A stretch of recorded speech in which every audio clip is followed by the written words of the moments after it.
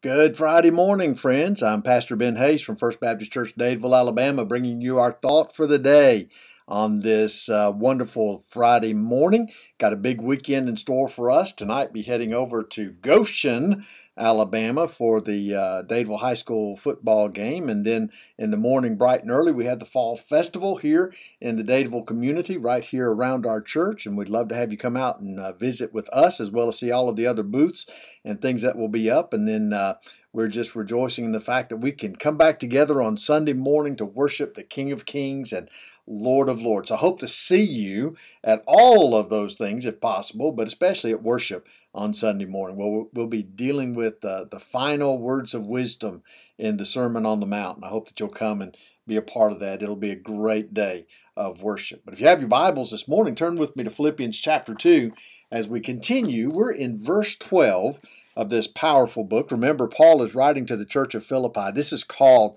the uh, book of joy, the book of rejoicing, because Paul had such fond memories of this church. It was such a great church. And you can see it here in what he says. He says, Therefore, my beloved. And really, that's my dearly beloved, is what he's saying.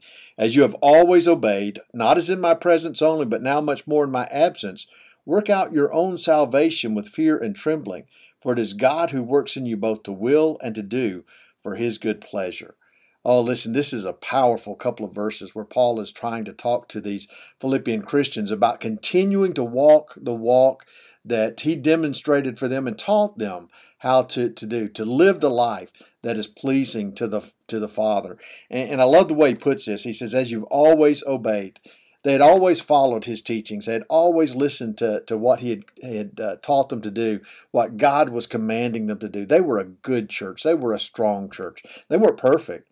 By the way, no church is perfect. And if you find a perfect church, don't join it because your imperfections will make them imperfect. Just, just keep that in mind.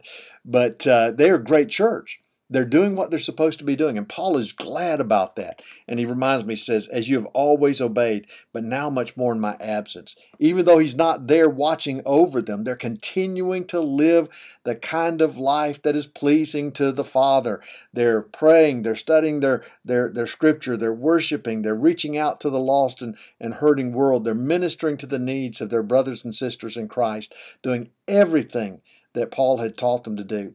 But this next phrase has caused a lot of people a lot of grief. There's a lot of misunderstanding to it because what it says here, he says, work out your own salvation with fear and trembling. Now, I want you to understand something. These Philippian Christians are already Christians, they're already saved, they're already in the hand of God. And the Bible teaches us that once you have become a child of God, that will never change. Once saved, always saved. The doctrine of the perseverance of the saints. I hold to that with all of my heart because I truly believe that there's no greater hope that we have than the fact that God holds on to us and He never lets us go. So, what, is, what does He mean here by work out your own salvation with fear and trembling? Probably a better way to understand that is Paul is telling them to work on their spiritual health. Always work on your spiritual health. Listen, there's not a one of us who doesn't need to work on our spiritual health, to focus more on the Word of God. You know, one of the things that that we often forget is that in this life we're walking through a world, through a culture that is full of sin and depravity, depression and discouragement, frustration.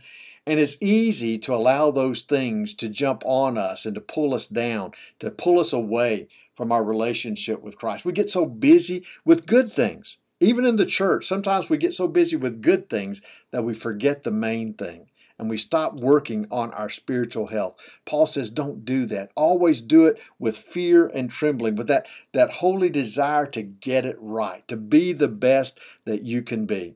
You know, it's, it's an amazing thing uh, to think about this, but God has given to us a great responsibility, not just for the world around us, but for our own self. Now, understand, He does the work.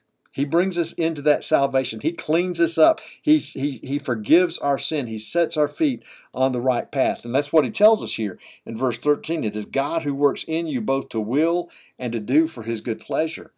But we have a responsibility to work as well, to do the things that are necessary, to be the kind of uh, Christian that we ought to be. Now, think about this. Let's say that you have a, medical doctor, your physician. And he goes to school, he gets his, his he gets his medical degree, he gets his license to practice, and he never ever opens up another book. Never cracks a medical journal. Never goes online to look at uh, the latest uh, uh, medical advancements. Never continues to study. Is he the kind of doctor that you want? Is he the kind of physician you want operating on you?